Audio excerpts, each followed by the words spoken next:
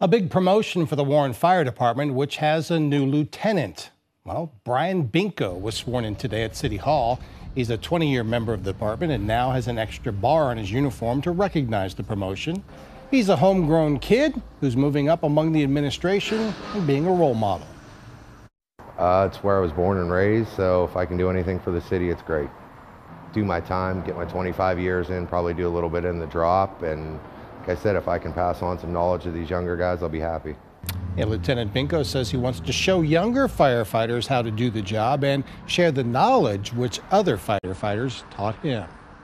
Hi everyone, I'm Lindsay Watson. Thanks for watching the WKBN 27 First News YouTube channel. If you want more video news, subscribe to our channel and don't forget to download the WKBN 27 First News app for breaking news alerts.